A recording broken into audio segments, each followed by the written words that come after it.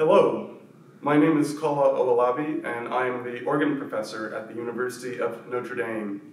I'm excited to be a part of this project of East-West Organists to record the 45 chorales of Johann Sebastian Bach's Orgelbüchlein.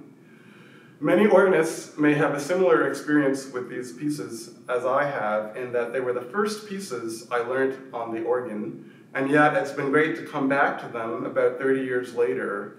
And I made a point of learning a couple of new pieces from the collection that I'd never played before, and to me that represents our ongoing journey to improve in our craft much as we see Bach in these pieces perfecting his technique to write little miniature chorales, which might be for us the way an enthusiast of literature might feel about sonnets or other great poetry uh, in comparison to really lengthy novels. These pieces would be perfect pieces to adorn the Lutheran liturgy of the 16th, 17th, and 18th centuries.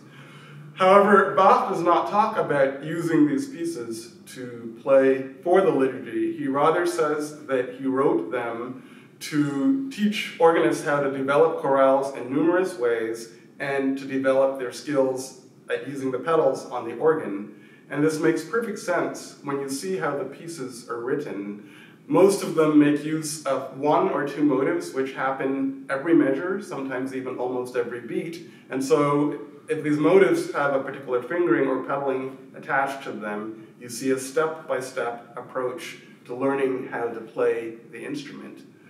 I'll make a brief note about just one of the pieces that I'm playing, the chorale Gott durch deine Güte, which is one of very few pieces in which Bach gives specific registration indications. You can probably count those pieces on two hands, uh, and in this case, he asked for the manuals to be played on the principal eight, and the pedal, which plays in canon with the soprano on the trumpet eight stop. These are wonderful pieces, and I hope you enjoy the variety in the collection of 45 chorales.